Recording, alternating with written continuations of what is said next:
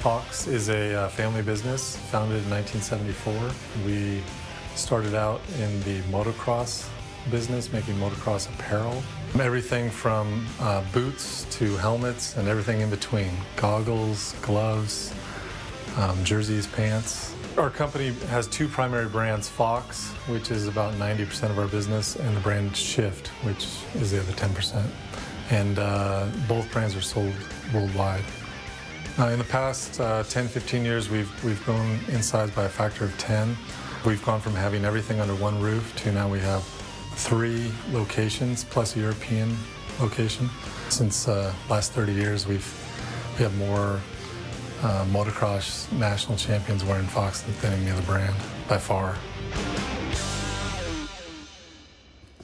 UPC?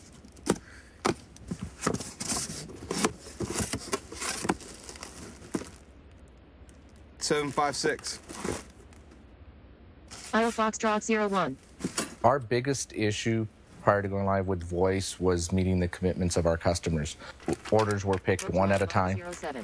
paper based. We challenged employees to pick six orders manually at one time, and I honestly couldn't do it myself. So how could I ask uh, the employees to do the, do that? Beforehand, it, turnover was horrible. I mean, trying to hold on to quality employees was pretty near impossible. It was a, we, we called it a revolving door. I mean, it, they were in and out constantly. Because they're paper picking, they had a high level of errors. And because they're a very hands oriented picking process, they're reaching into boxes, they are the dead on fit for voice. Fix complete. We do replenishment using voice. We do cycle counting using voice. And we dynamically slot in our replenishment using the Vocollect system. LP. Previously, with the ARV system, we would cycle count every three months the entire building, and we would still have accuracy issues. We had an offsite audit come through, and we were at about a 60% rate.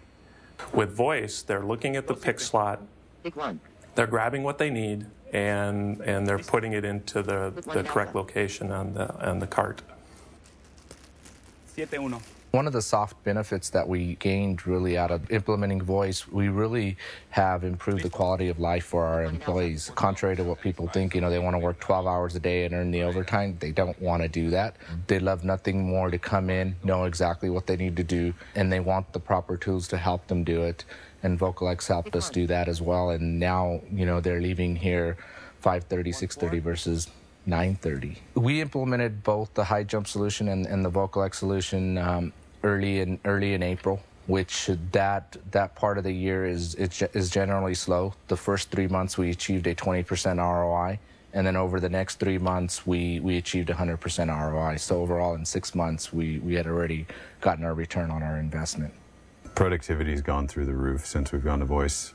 Uh, we used to pick 80 to 90 lines an hour, some of my superstars uh, on paper. Now they're picking upwards of 150 to 200 lines an hour, which is amazing in itself. One three six. Pick one. Ready?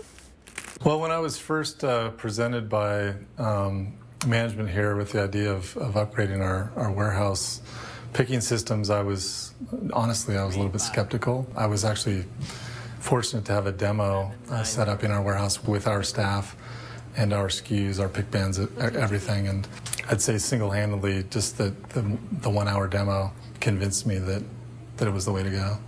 um, and and uh, and he went out on the floor and on his second try he he he was he was able to get a 66% improvement I I remember seeing Greg Fox's reaction to that and saying wow